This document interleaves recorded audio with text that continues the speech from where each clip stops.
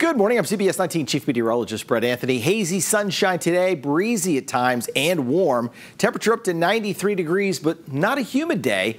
The humidity doesn't come back until Sunday. So southeast winds, lots of sunshine first half of the day. Into the afternoon, the high temperatures are making it back into the low 90s once again. Then tonight into tomorrow morning, more of a southerly wind. We start to notice some clouds coming in tomorrow morning. and it's an indication that the humidity is increasing. Sunday's highs right back into the low 90s again. And then Sunday into Monday, We'll see some scattered showers and thunderstorms moving in. In fact, we're watching the Gulf of Mexico for the potential for a named storm that could be moving into Texas and impacting and bringing us rain Monday, Tuesday, Wednesday, and the first part of Thursday.